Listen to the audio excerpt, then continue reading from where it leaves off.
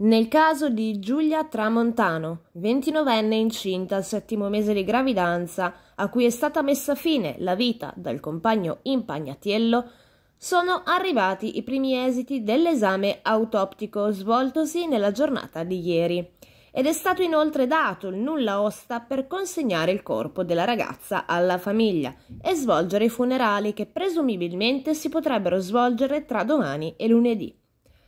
L'autopsia ha rivelato che Giulia sarebbe stata aggredita alle spalle e raggiunta da ben 37 fendenti.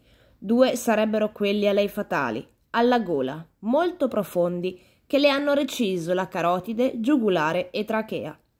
Due sono i fendenti alla gola, uno al viso, due alla schiena e altre decine al petto, talmente violente da perforarle anche un polmone. Non emergono fendenti alla pancia. Sarebbe ahimè morta dissanguata. L'impagnatiello ha tentato inoltre di liberarsi del corpo di Giulia dandole fuoco due volte la prima volta con l'utilizzo di alcol, il secondo tentativo invece con l'utilizzo della benzina.